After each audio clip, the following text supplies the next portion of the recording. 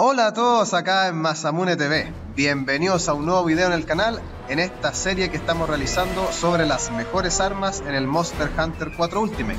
El día de hoy, las lanzas pistolas. Espero les guste y recuerden dejar su comentario abajo.